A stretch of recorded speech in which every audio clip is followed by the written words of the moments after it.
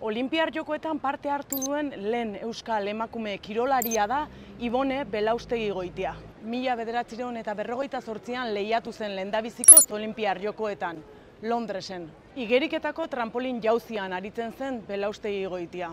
Bilbon, familiagatik hasi zen igerian kirola egitea oso barneratuta baitzuten amazazpi urte zituenean hasi zen bere etxeko igerilekuan zuen trampolin txiki bati esker. Gero, Mexikoko Deportibo Txapultepek igeriketa taldean hasi zen entrenatzen. Lagun baten aita trampolin jauzian entrenatzen zelako. Mila bederatzireun eta berrogeita marrean elite kirola utzi zuen Japonian misiolari izateko.